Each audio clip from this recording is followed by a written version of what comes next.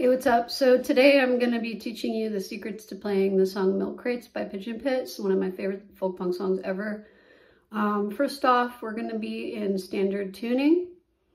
Uh, the chord shapes you will need are going to be a C and a weird F. It's not, it's not quite this F, and it's not a bar F, but it's sort of a weird combination of the two where you're going to um, you're gonna have your B string on the first fret. Your middle finger is open, there's not anything there. And then on the D and A string, you're gonna be on the third fret. So it looks like that. It's a really nice open sounding chord. And then the third chord you're gonna need is just a standard G chord. So the way that Lomes actually plays this song and the way she plays a lot of her songs is actually with the capo on the fifth fret. So if you're trying to sound like the album,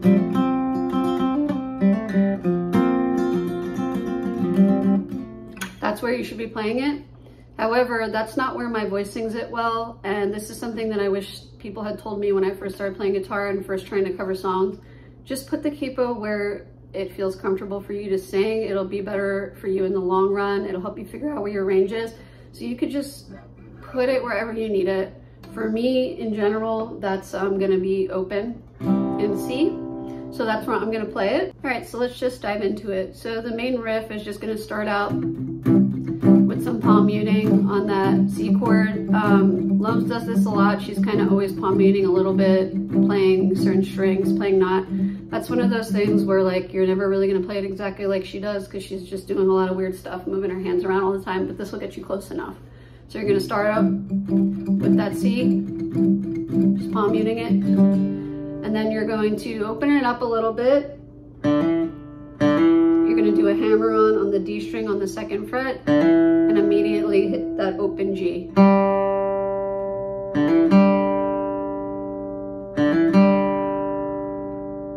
And then you're gonna hit that G string a couple times, three times. Hammer on on the G string, second fret, and hammer off into the open again.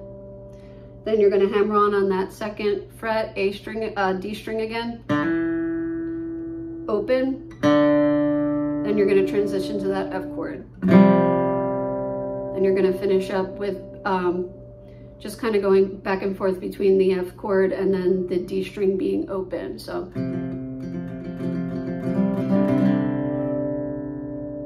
So all together that's going to sound like.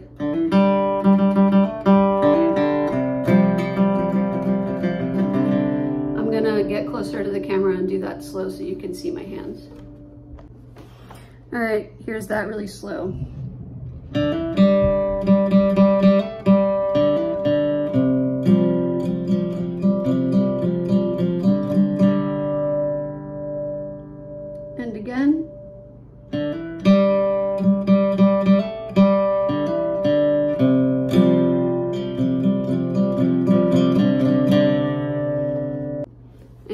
Again slow so you could see my right hand.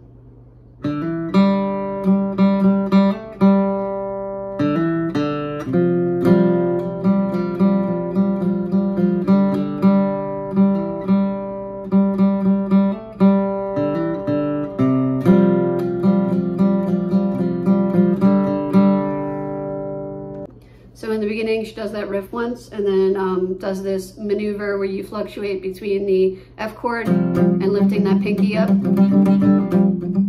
twice.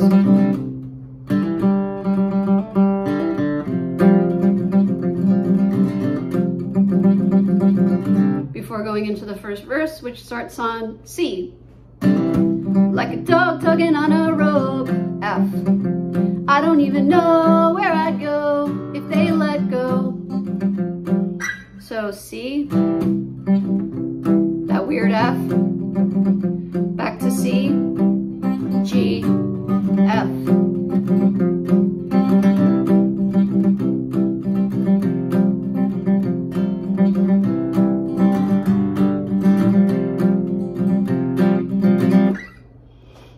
Um, she's doing a lot of hammer-ons and pull-ups and all that stuff, but like I said, that's something you're never gonna figure out unless you just listen. Um, the one that I do hear her do is sometimes she does this, where she kind of walks down from the F to the C chord. You could throw that in there. So just to show you where that part happens, it's in, be in between like the first part of the verse and the second part of the verse, um, of the first verse. It's like, uh, they put up a chain link fence. Now there's nothing I can do but bark my head off. Right there. And then she goes right into the next part of the verse. But I'm not fucking playing. I got these teeth for resign. I know that it's life or death. I can't forget it. Um, so after that verse, it goes back to the instrumental uh, little riff from the beginning of the song, but this time in the recording, it's the violin playing it. And uh, Bo, the violin player, they just play through um, the main riff twice without going to this. They, uh, they don't really do that, uh, so it sounds like this if you want to play along and have it sound like the record.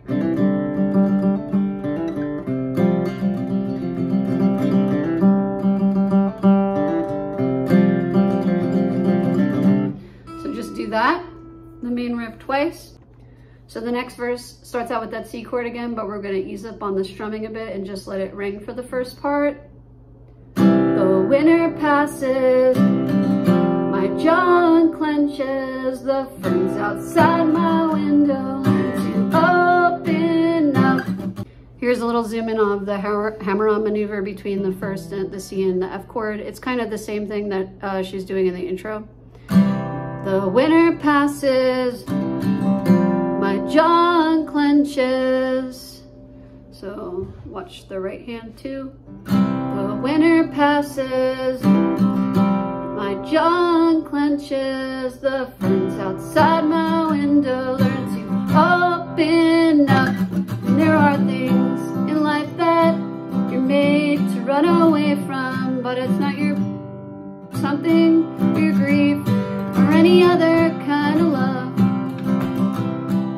I the words, okay. Where I once felt despair, now I feel free. Now for this next part, and then through the whole end of the song, you're just playing the C and the F chord, and you're kind of, I mean, palm muting or whatever you want to do. My trust in broken milk crates underneath the trestle by the vet's hall. Call for help and more coal.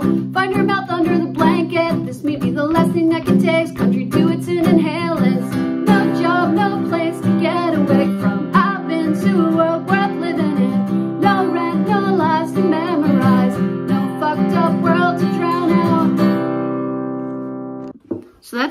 Much that's pretty much it. That's the song. Um, it's a little more nuanced than just the chord chart. I am going to post a chord chart on Ultimate Guitar.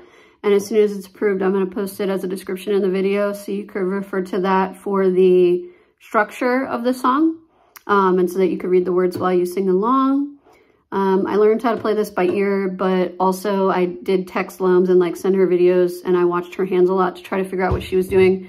And she did confirm that I'm mostly doing it right. So um, unless you get it from her, this is as close as you're going to get. Uh, make sure you video your covers because I want to see them. It's my favorite song. Have a good day.